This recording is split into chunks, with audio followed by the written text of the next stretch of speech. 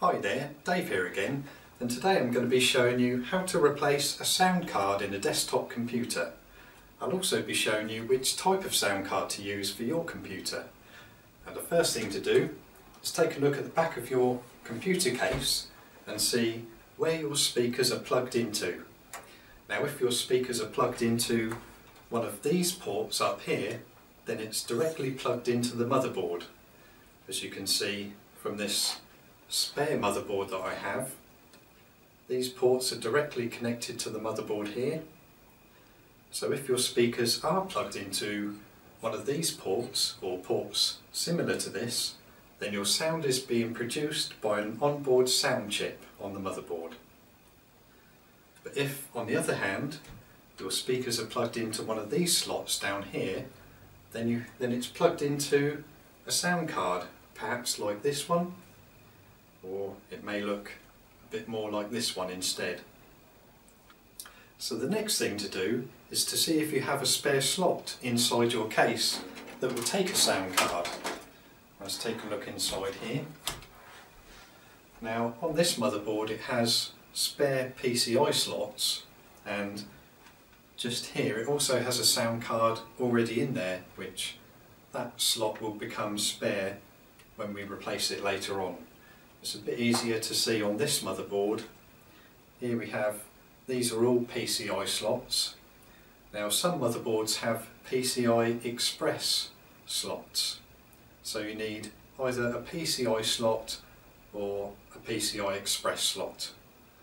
So if you're not sure which ones are which, just take a look at your motherboard manual or your computer manual and it will clearly explain which slots are which. So when you take a look in your motherboard manual, if it tells you that you have a spare PCI slot, then you'll need a PCI sound card for your computer. If you have a spare PCI Express slot, then you'll need a PCI Express sound card for your computer.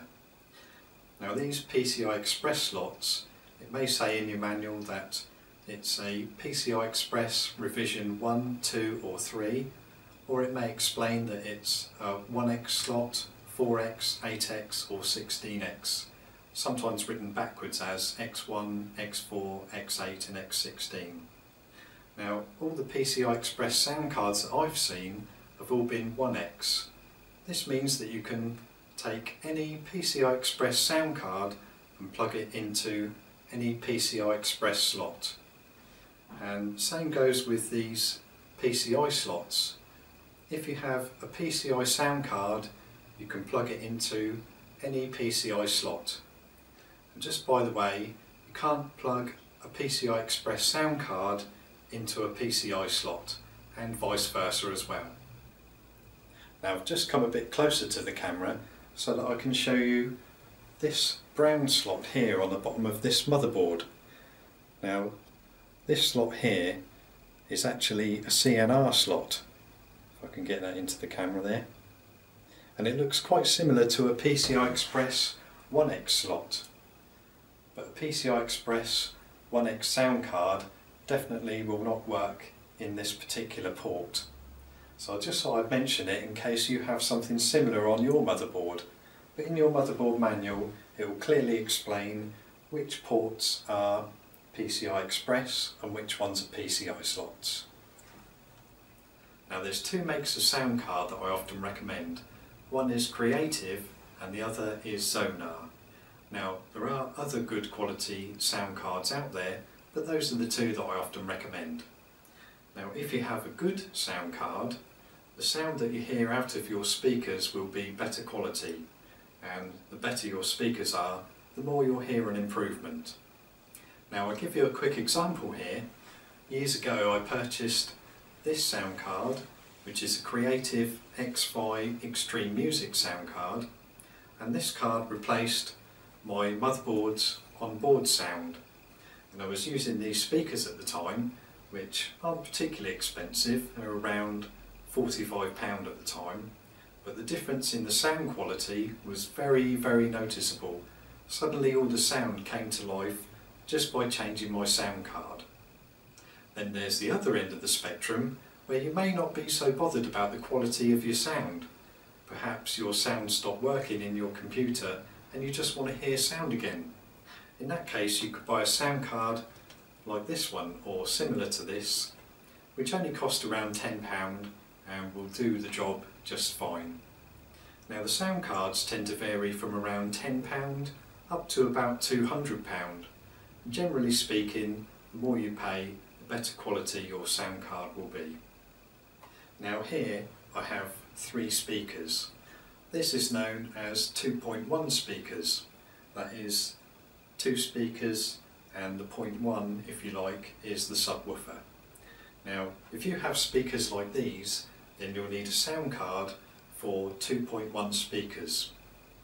Now let's say you have six speakers, this will be known as 5.1 speakers, in which case you'll need a sound card that produces surround sound for at least that number of speakers. Now you can buy sound cards that produce sound for 7.1 speakers. In other words, it can produce sound for 8 speakers. Now if you have a sound card like this, it can produce sound for any number of speakers between 2 speakers and 8. Okay, now some sound cards need extra power from your power supply unit inside your case. Now I would say most sound cards don't require extra power, most uh, have enough power as it is from the motherboard. But those that do require extra power quite often they require a Molex power connector. Now, if you choose a sound card that does need extra power, just make sure you have the power connector that you need inside your computer case first. Next, it's a good idea to check the connection that you have between your speakers and your sound card. For example, this one on mine, I'll show you a close-up of this, this is a 3.5 millimeter analog plug.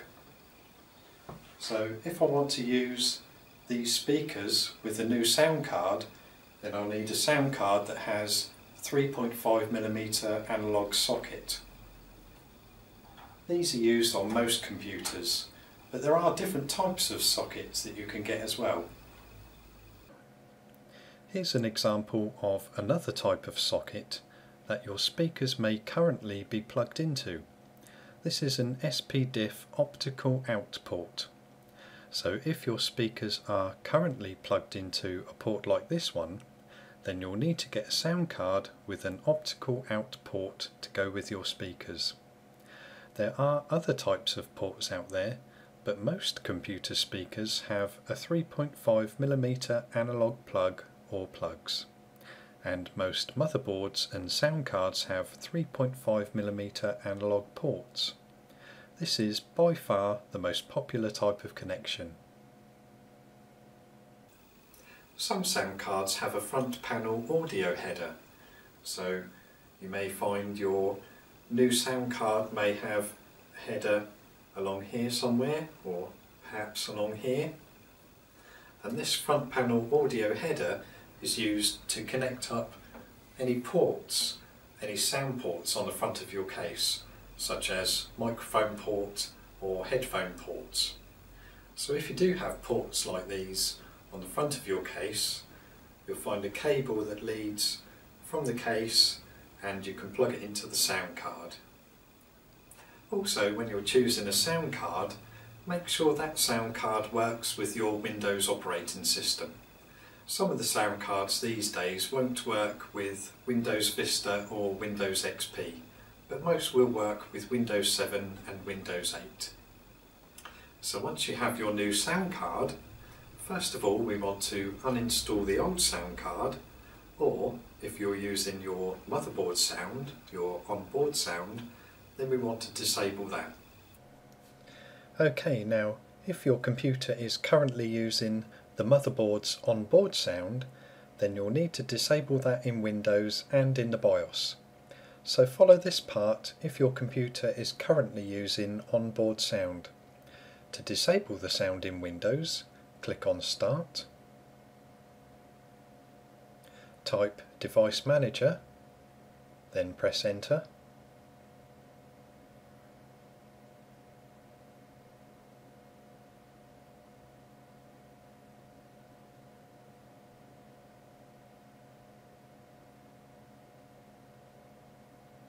click on the arrow next to Sound, Video and Game Controllers Right click on your sound device and select Disable.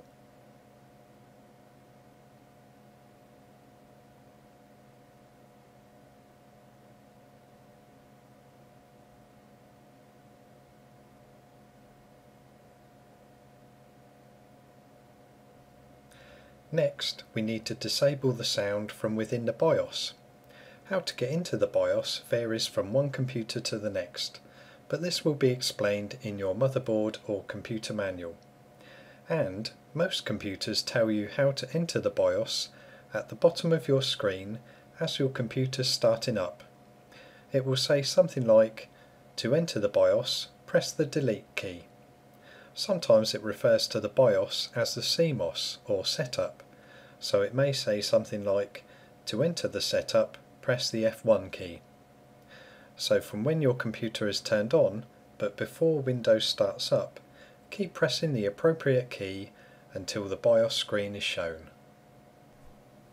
Once you're into the BIOS screen, take a look around and find your onboard audio. You may have to use the arrow keys on your keyboard to look around, or some computers allow you to use the mouse for this. Your onboard audio may be in a different location to mine. Once you've found it, disable it, then save your changes. Allow your computer to restart, then shut it down.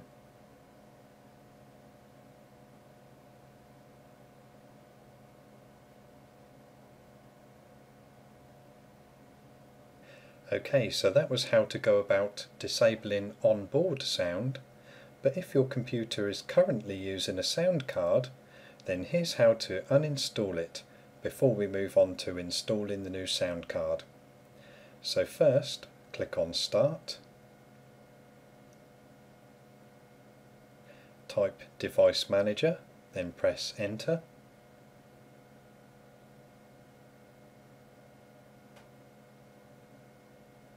click on the arrow next to Sound, Video and Game Controllers. Right click on your sound card and select Uninstall.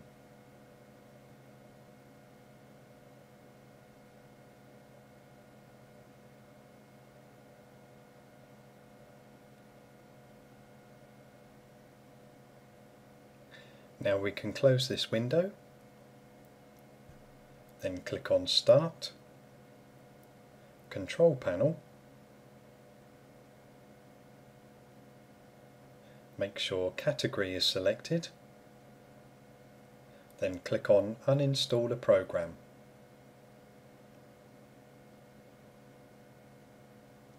From the list that appears, find any programs that are associated with your sound card. Click on one of them, then click on uninstall and follow any of the simple on-screen instructions. After uninstalling a program, you may be asked to restart your computer. If so, click on No. You may have one or two programs that are associated with your sound card, so just remove them one at a time until they're all removed. Remember that we're only removing sound card related programs here. Everything else can be left alone. Once you've done that, shut your computer down. Okay, once you've turned your computer off, take out any cables from the back of the case and just touch an unpainted part of the case for around 10 to 15 seconds just to ground yourself. Now open up your case and if you already have a sound card in there we need to remove that first.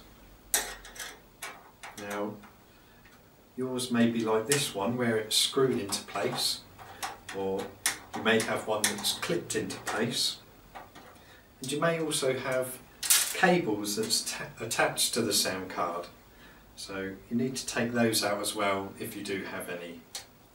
So you can just we can just rock this sound card out of the motherboard. See? Try and grab it by its edges and take it out. Now we can take our new sound card and plug that into that same space.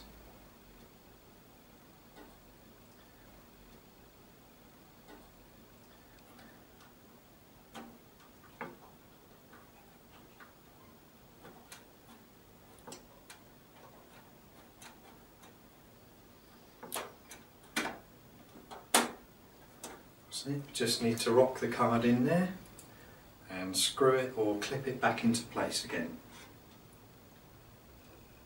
If your case has front audio ports, such as microphone port or headphone ports, you may wish to connect those up directly to your sound card if your sound card has front audio headers or a header. The front port header on your sound card may be HD audio and the same with your ports at the front. Or the front port header on your sound card might be AC97 and the same with your ports at the front. If these two don't match up, you can use a converter cable so you can still connect your front sound ports with your sound card. But remember not all sound cards have this header. So now we've installed the sound card, we can close the case up and we can plug in our speakers into the new sound card. Now if you're using 3.5mm analog ports then you can follow this colour coding on the right. Now you may want to check your sound card manual for this because not all manufacturers follow this colour coding. Next you can plug in all of your other cables into the back of the case such as your power supply cable and your monitor cable and you can turn your computer on and install any software and drivers that need to be installed for your sound card. Now these quite often come on a disc with your sound card or you can go to your sound card manufacturer's website and download the drivers and software from there. Once your sound card's drivers and software are installed, right click on your speaker icon and select Playback Devices. Make sure your sound card is set up as the default playback device by right clicking on it and selecting Set as Default Device. The last thing to do is to spend a minute or two setting up the sound card software. You can normally find this by clicking on Start, then typing in the name of your sound card manufacturer. Mine's a Creative sound card so I'll type that in and click on Creative Audio Control Panel.